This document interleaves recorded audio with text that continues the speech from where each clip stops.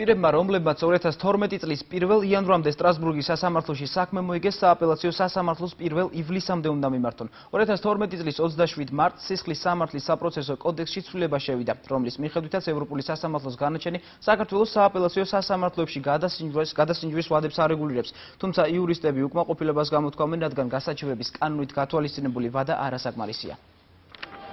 ადვოკატმა დავით ჯანდიერმა ახლახანს შეიტყო საკანონმდებლო ცვლილების შესახებ, რომლის მიხედვითაც პირებმა, რომელთაც სტრასბურგის სასამართლოში საქმე აწარმოეს და განაჩენის გადასინჯვა სურთ, თბილისის ან ქუთაისის სააპელაციო სასამართლოს 1 ივლისამდე უნდა მიმართონ.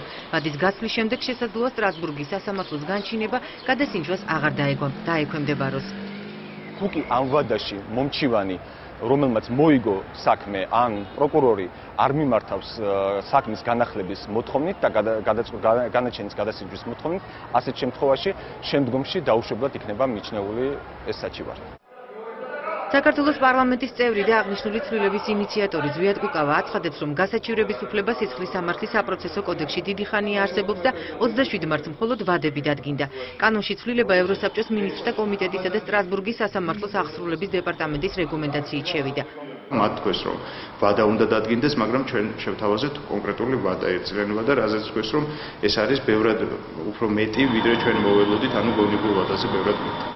ზვიად კუკავას არ ეთანხმება უფლება დამცველი ლია მუხაშავრია. იურისტი ფიქრობს, რომ სიცხლის სამართლის საპროცესო კოდექსში შესული ცვლილება მცირევა და საძლევს სასამართლოსთვის მიმართვის მსურველ ადამიანებს.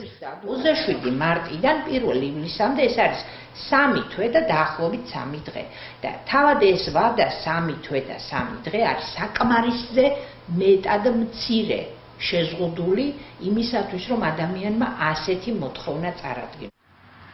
იმ პირებს, რომელთაც საქმე სტრასბურგის სასამართლოში 2012 წლის იანვრის შემდეგ მოიგეს, განაცხადის შეტანისთვის 1 წელი ან მეტი აქვთ, თუმცა ამჟამად 50 მოგებული საქმის ხელახლა განხილვისთვის განაცხადის შეტანა რამდენიმე დღეში, 1 ივლისამდე უნდა მოესწროს.